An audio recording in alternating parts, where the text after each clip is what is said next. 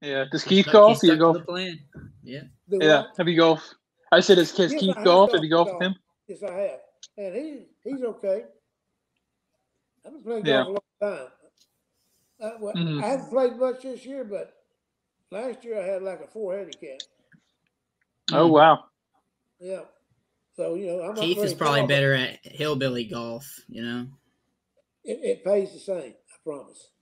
Oh, okay, okay. Now, if they're if if if if, if CBS calls and they're gonna do a, a Survivor versus Big Brother versus the Challenge versus Amazing Race uh, golfing, and you got to choose, they asked you to be the captain. You got to choose one partner uh, from Survivor. Who do you think you'd pick? Wow. you know, right now, now I haven't, like I said, I haven't played with Brian, but I've heard he's got pretty good. I'd probably pick Brian Okay.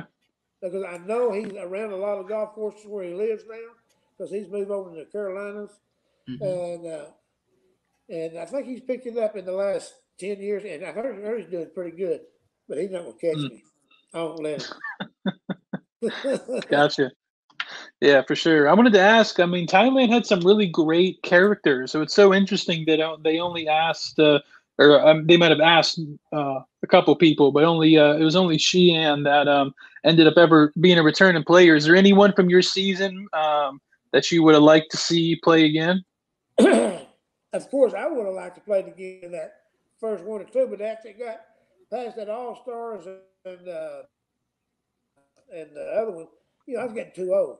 But uh, you know, I was Mhm. up against Rudy. You know, they called being on the show, and it was if Rudy could make it or not. There were so many characters at that time, and you know, every, all the shows at that time had been number one.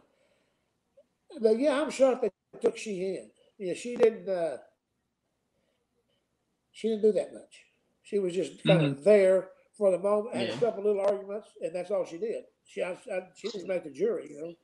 You know, I went with her a couple little trips there and all that. She just boy, she burned herself. But uh, I think Helen or uh, or Clay should have been on there. That's all it is. I'd have sure I'd have changed a couple of things, and I'd probably showed what old people do. It'd have been fun. Gotcha. Yeah. Would you have liked to see Brian out there on uh, Winners at War? I think it would have been uh, interesting to see the see the Iceman return. I do too. I'd like to see him out because he, uh, you know, he, uh, he, he just, he, you know, he said some things that made us, whoa, believe me, they were all, but each of us, he told each one of us a lie and kind of left it there and we kind of hold on to it instead of sharing with others. And so he got busted. But yeah, I'd like to see him out there because they'd have been on to him. So, you know, Big Tom and all that, they wouldn't have, they wouldn't have cared about him at all. I like seeing that. To watch the rest of the interview, Make sure you click on the video that is appearing on your screen right here. Click on it. It's awesome.